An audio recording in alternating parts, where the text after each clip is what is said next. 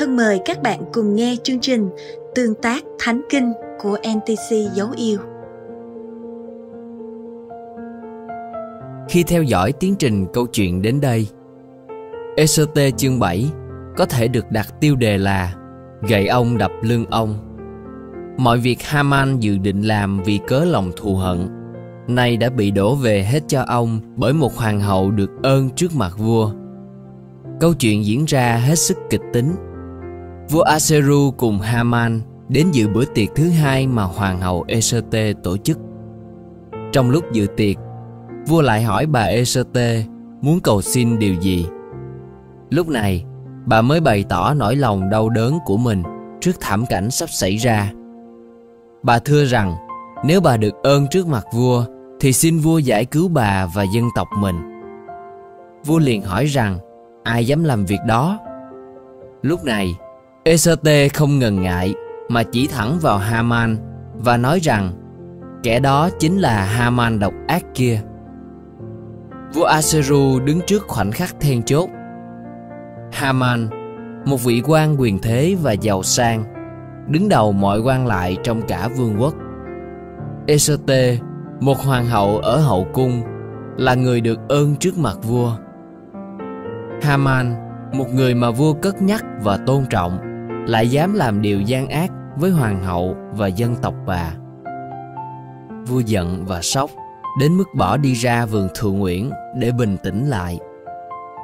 Trong lúc đó, vì biết bản thân đang đối diện với nguy nan, nên haman đã quỳ dưới trường kỷ, nơi hoàng hậu eserte đang ngồi để van xin.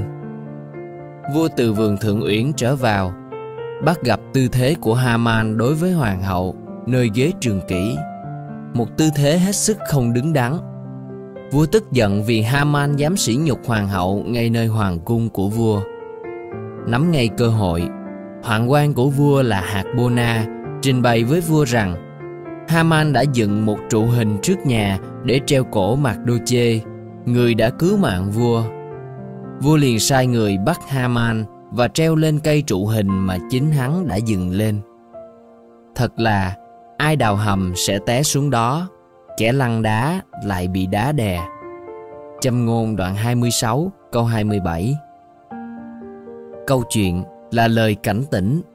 Đừng như Haman Đừng sống trong thù hận Và suốt ngày phải nghĩ kế sách hãm hại người khác. Sẽ có ngày chính bản thân mình sẽ bị thiệt hại bởi chính lòng dạ độc ác của mình. Câu chuyện cũng là lời thách thức hãy như ECT sẵn sàng chấp nhận liều mình hy sinh để giải cứu dân tộc mình. Sống yêu thương, hết lòng vì anh chị em mình là điều đòi hỏi lòng can đảm và sẵn sàng hy sinh. Hẳn nhiên, câu chuyện này không phải là chuyện gieo gió gặt bão như thường thấy. Hãy theo dõi phần tiếp theo. Câu hỏi suy gẫm. Có bao giờ bạn đã từng tức giận một ai đó và từng lên kế hoạch để làm hại ai đó không?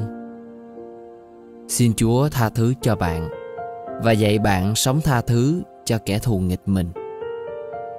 Hãy lắng nghe lời Chúa phán trong Roma đoạn thứ 12 từ câu 19 đến câu 21. Thưa anh em yêu dấu, Đừng tự tay mình báo thù ai Hãy nhường cho cơn thịnh nộ của Đức Chúa Trời vì có lời Chúa phán. Sự trả thù thuộc về ta Ta sẽ báo ứng. Nhưng nếu kẻ thù nghịch anh em đang đói, Hãy cho họ ăn. Nếu đang khát, Hãy cho họ uống. Vì làm như vậy, Khác nào anh em đặt than lửa hồng trên đầu họ. Đừng để điều ác thắng mình, Nhưng hãy lấy điều thiện thắng điều ác.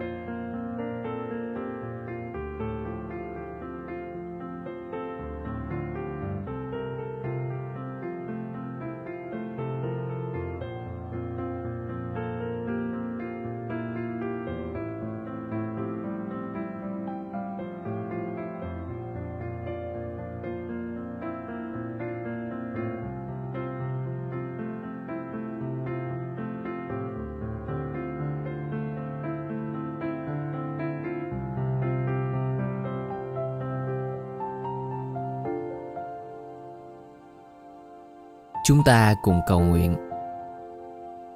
Kính lạy Đức Chúa Trời, xin Chúa tha thứ cho con nếu con đã từng tức giận và muốn làm hại người khác. Xin giúp con sống yêu thương và biết tha thứ cho cả những người muốn hại con. Nhân danh Chúa Giêsu Christ. Amen. Thân ái chào các bạn. Hẹn gặp lại vào ngày mai